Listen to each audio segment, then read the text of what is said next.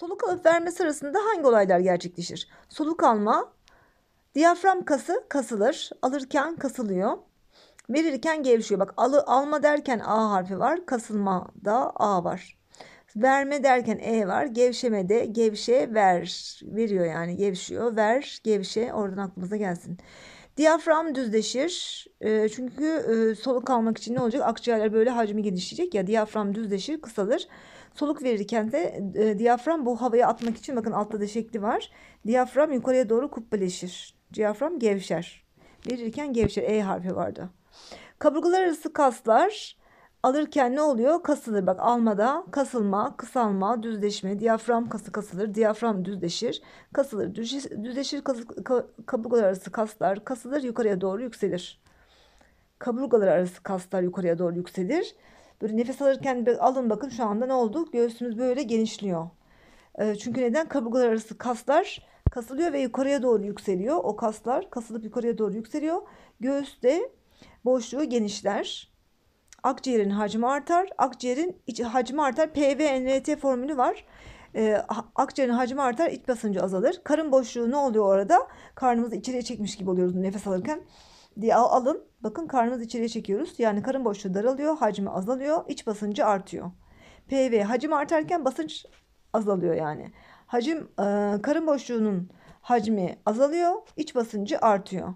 Akciğerin hacmi artıyor ve basıncı azalmış oluyor. Çünkü akciğerde yani basınç yapacak bir şey yok. Hacminde oksijenle dışarıdan oksijenle dolacak. Dışarıdaki hava oksijenle dolmuş oluyor böylece.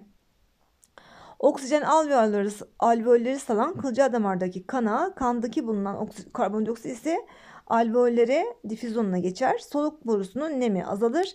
Ancak soluk borusu içindeki havanın nemi artar. Soluk verirken de diyafram kası gevşer, diyafram kubbeleşir. Kaburgalar arası kaslar gevşer. Bak onlar da gevşer.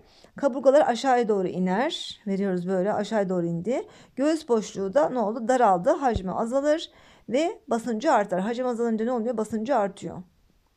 Soluk vereceğiz çünkü. Hacim azaldı. Basınç artar ve akciğerin hacmi azalır ve akciğerin iç basıncı artar. E, hacmi azalır, iç basıncı artar. Göğüs boşluğu daralır, hacmi azalır, basıncı artar. Akciğerin hacmi azalır.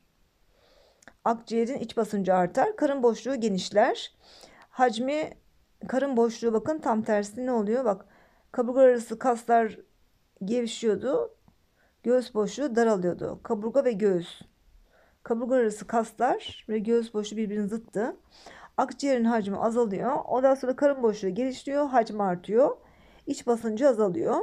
Akciğerdeki hava dışarıya atılır. Alveollere geçen karbondioksit de oksijen at, ıı, şey akciğerdeki hava karbondioksit e, ne oldu böylece dışarı atıldı.